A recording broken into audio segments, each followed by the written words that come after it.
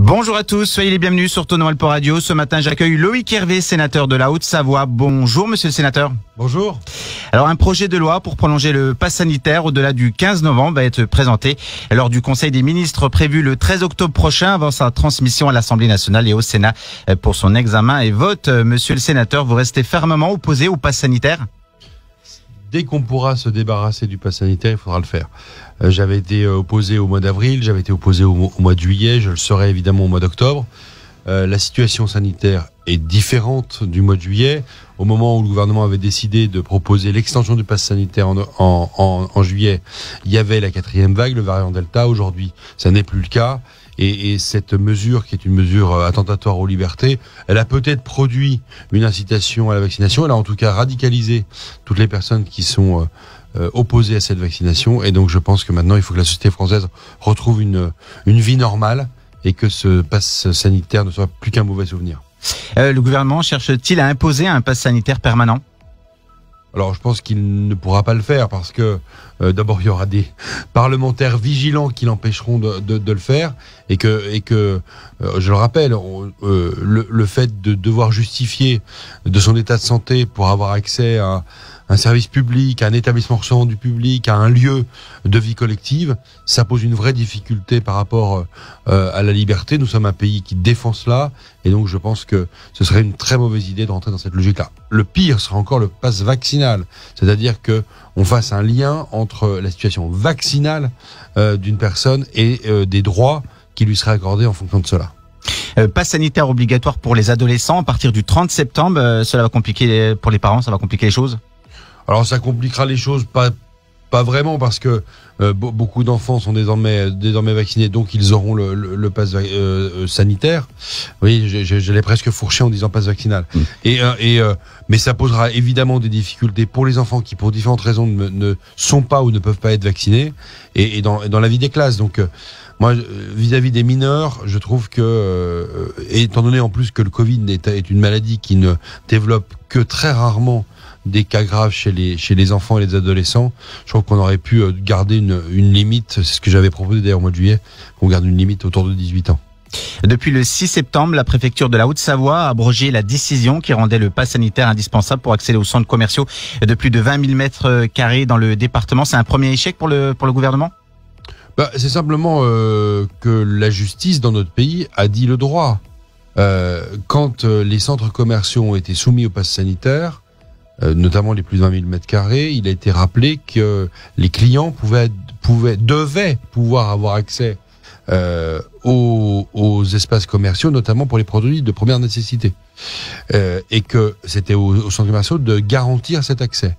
Dans un certain nombre de départements, il y a eu des annulations des arrêtés préfectoraux et la Haute-Savoie a, tiré les conséquences de ces annulations et voilà donc euh, bon euh, dire que c'est un échec pour le gouvernement enfin en tout cas c'est un échec dans la déclinaison de la loi qui est votée par le Parlement. C'est un échec parce qu'il faut toujours écouter le Conseil constitutionnel, même si pour le coup il n'a pas été d'un très très grand courage à mes yeux. Mais bon, il a quand même dit des choses et ces choses, ces rappels, ils doivent être appliqués évidemment sur le terrain. C'est valable notamment pour toutes les questions euh, qui sont liées euh, au licenciement, aux suspensions pour les personnes non vaccinées, notamment les soignants. Évidemment, euh, moi je suis très vigilant, nous, nous regardons de manière très précise pour que la loi soit appliquée à la lettre. Le service départemental d'incendie et de secours de la Haute-Savoie a suspendu 19 pompiers qui refusaient de, de se faire vacciner contre le Covid-19. Comment jugez-vous cette décision? Ah, Moi, je ne ferai jamais le reproche, même si je suis opposé à cette loi, je ne ferai jamais le reproche à des autorités publiques d'appliquer la loi. La seule chose que, que je dis, et elle est toute simple, c'est le corollaire. C'est-à-dire que appliquer la loi, c'est bien, mais la loi est rien que la loi. pas d'interprétation au-delà et pas de mesure, pas d'anticipation et pas d'extension de la loi. Et donc, évidemment, j'imagine que le tribunal administratif, puisqu'il s'agit de pompiers, ou euh, le conseil de prud'homme, s'il s'agit d'agents privés, auront à se pencher sur ces questions-là. Si, si d'aventure, la loi n'avait pas été appliquée euh, conformément à, à la manière dont elle a été votée au Parlement. 3000 euh, personnels de santé non vaccinés contre le Covid-19 ont été suspendus depuis la mise en place de l'obligation euh, vaccinale en France. Ça va être compliqué à, gérer dans, dans les hôpitaux? Non, mais c'est beaucoup plus. C'est les chiffres du, du, ministre du ministre. Oui, ben c'est beaucoup plus. Parce que si vous si vous avez un ratio et que vous vous dites qu'en gros la Haute-Savoie c'est 1% de la population euh, française, hein, c'est un peu plus en réalité, ça voudrait dire qu'il y a 30 suspendus en Haute-Savoie. C'est pas vrai, il y en a beaucoup plus.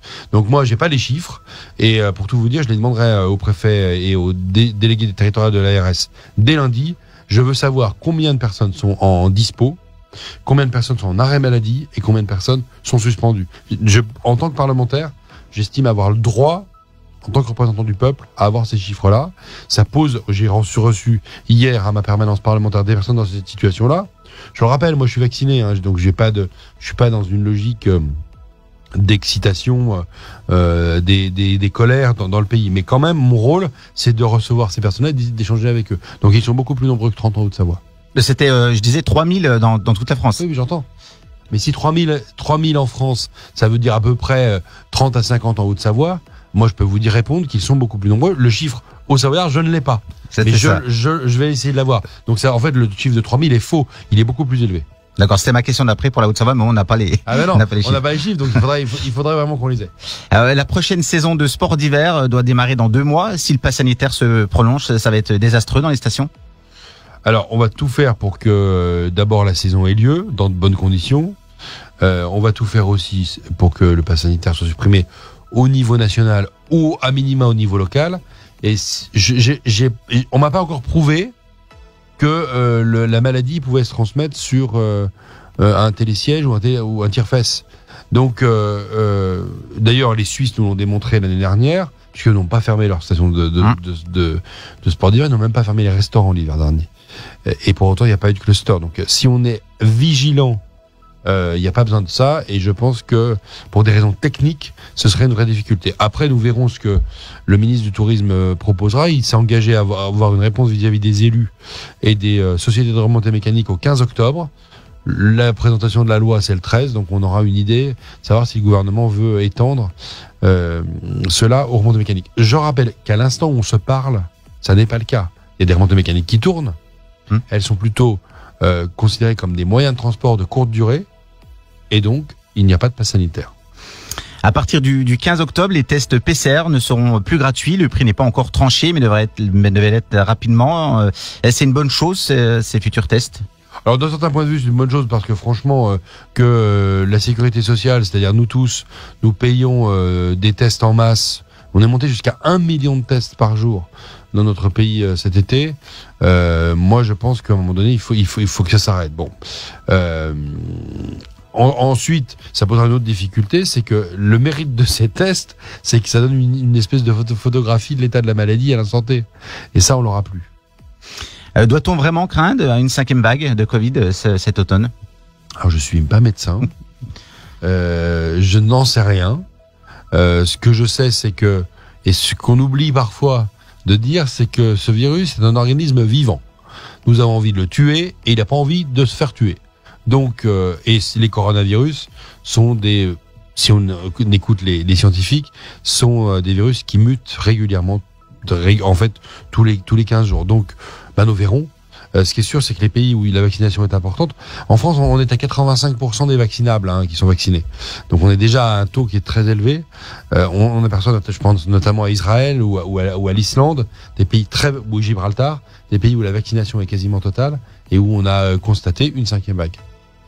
Merci, monsieur le sénateur, d'avoir répondu à mes questions. Merci. Merci à vous.